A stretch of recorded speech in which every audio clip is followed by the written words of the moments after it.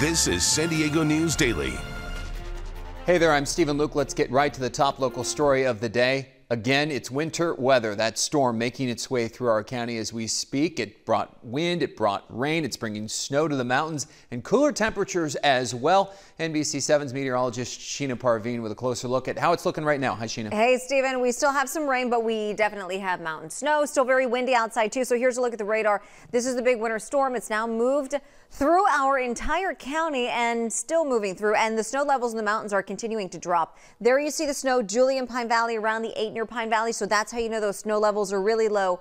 They're right around 3,500 feet mostly, but we could see levels dropping to around 2,500 feet. There's our first alert Doppler 7, our NBC radar sweeping around. And now we're looking at some rain. East County, mostly around Jamul. And then as we get into the South Bay around Chula Vista, Imperial Beach, some light rain. Parts of the county, though, seeing a big break here. North County finally getting a break from the rain uh, for the coast, for many areas inland. But even though we do have still some scattered light showers around Valley Center, uh, we're not seeing nearly as much rain as we had earlier today. So now we're just dealing with cloudy skies for much of the coast and very gusty onshore winds still. Winds are gusting near 30 miles per hour for the coast inland valleys. It's going to stay windy through the afternoon. Mountains are seeing very high wind gusts. I would say over 40 miles per hour. Could still see gusts near about 70 possibly. Those would be pretty isolated. Here's future weather. We head through the afternoon. We cannot rule out a few more showers moving through through the afternoon. Still going to be very windy. Mountains will still be seeing snow.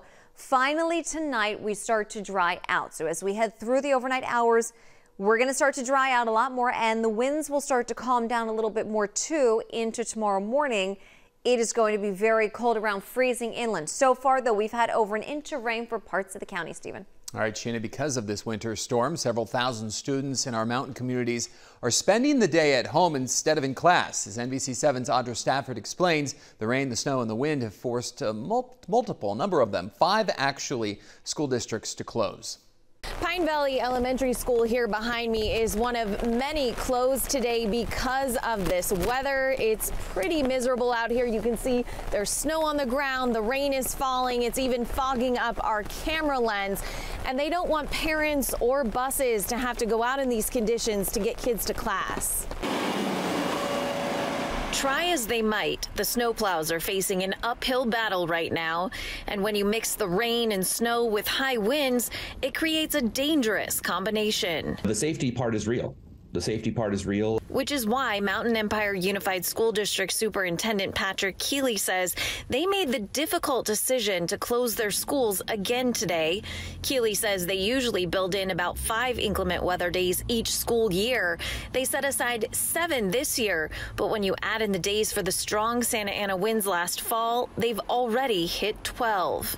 Snow related, I want to say this is probably our sixth which is pretty unusual. Um, today was kind of a combination of the snow and the wind. Several other districts have also had multiple days of cancellations due to the weather.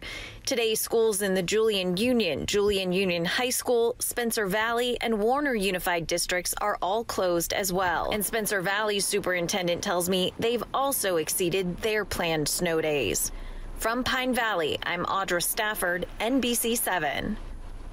The superintendents for the Mountain Empire and Spencer Valley districts say they're going to have to request a waiver from the state for those additional days, but it's too soon to know how many they're going to need. The price of natural gas continuing to fall. That's good news for you. San Diego Gas and Electric says the price is less than half of what it was just a couple months ago in January. SDG&E says the price drop is driven in part by an out-of-state pipeline that's coming back online. Yeah, you'll recall in January, an average customer's gas bill jumped all the way up to $225. Now the utility company says the average bill will be closer to 85 bucks. That's also less than January of last year when the average bill was just over $100.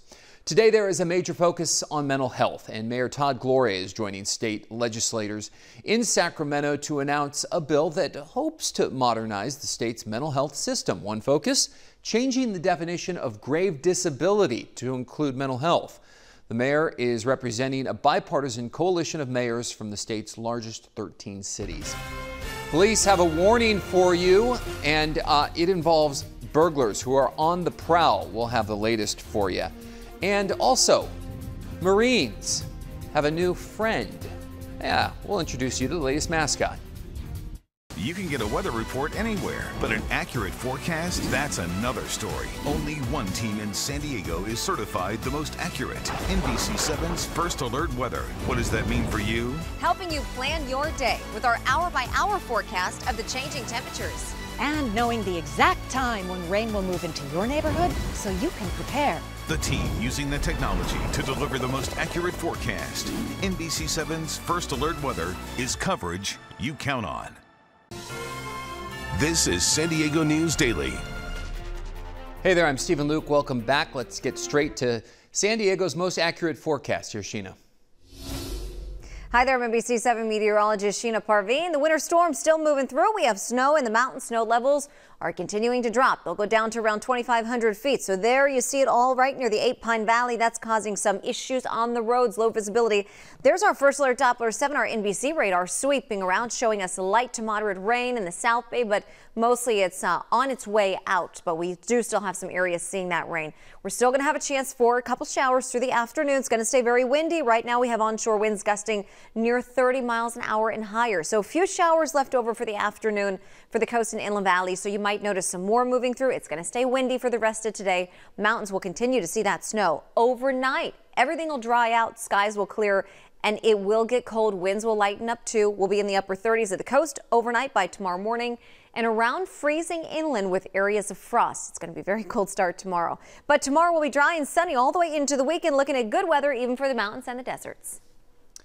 Well, after what appears to be a six month hiatus, burglars are targeting again some of the wealthiest communities around San Diego County.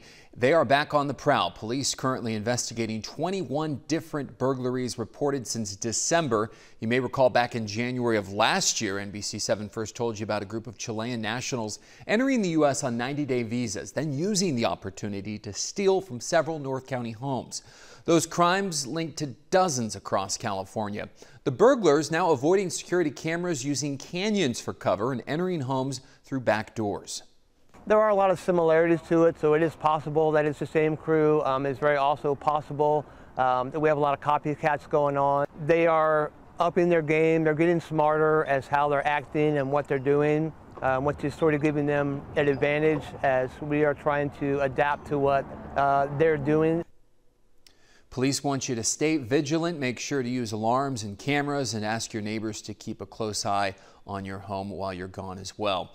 The search is on for two teenage boys suspected of going on a vandalism spree. This is in Ramona. This happened back on February 9th and 10th. The teens accused of vandalizing several locations, including Ramona High School, two elementary schools, a Boys and Girls Club, a bike shop, and the Ramona Municipal Water District.